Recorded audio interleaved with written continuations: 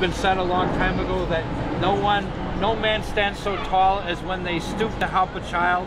And we've seen that on display uh, quite often and in great urgent need. And so we're very glad to participate in that.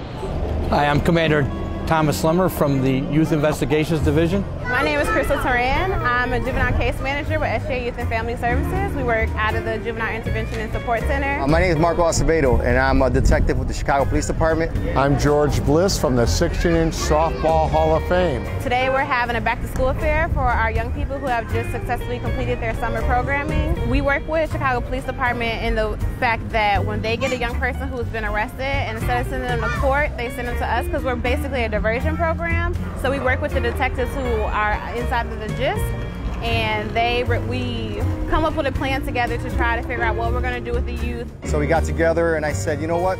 We, we need to uh, have something different for the kids to come in. Instead of just going to an office, they need to get together and uh, uh, get some physical fitness in, get some group participation, uh, teamwork. We fortunately met Detective Marco Acevedo a couple years ago. We talked about a program of perhaps coming out and showing kids how to play this game.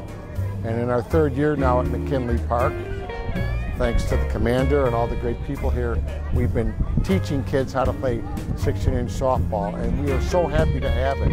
And softball initiative is really one of our outreach efforts uh, that we're hoping to touch the lives of station-adjusted youth. We have a lot of youth that, that get in, into uh, trouble in the city. Um, oftentimes those uh, first encounters are for very low-level offenses. And the, the goal is, is to use those intervention uh, opportunities as something to really change the course of the young person's life. Without having to send the case to court, without having a permanent mark against the uh, young person's record, to be able to take that time with the youth to make sure that um, they take accountability for the things that they've been involved in, but also try to make more positive and healthy choices uh, with their own lives, which then will have a, a lasting impact for not only them, but for all those around them and for the larger community. This is Chicago's game, and kids should maybe come back and play this game. After all, it only takes a ball and a bat, no glove. That's all you need. You can play with four or six or 12 players.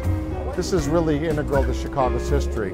So we got these kids out here, and then we had a 10-week program and uh, where we had the kids come on out, uh, learn the game of softball. Some of them never played before, and uh, we had them engaged. They learned the game.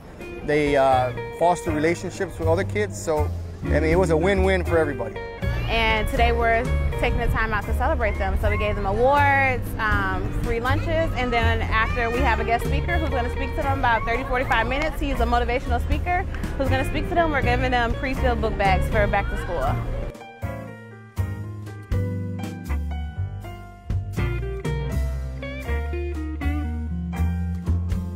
For any future events, go to Chicago Police Facebook page. It's always important that if you see something, say something. If you have any anonymous information, you can go to cpdtip.com.